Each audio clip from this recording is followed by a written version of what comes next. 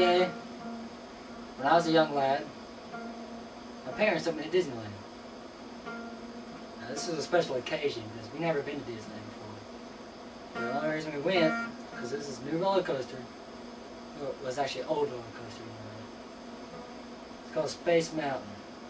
And it was coming back out after five years. They shut it down because a couple of kids died on it, but no one cared because it's such a fun ride.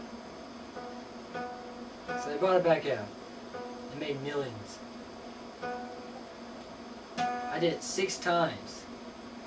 The last time, I walked out, and I looked up,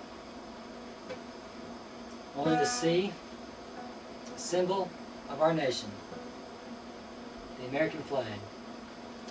And then right next to it was the other symbol of our nation, the bald eagle. And as I looked into his eyes, looked right back into mine, it was a deep moment. We were concentrating the longest time. I knew he was trying to say something to me. I didn't quite know what it was. And then finally he spoke.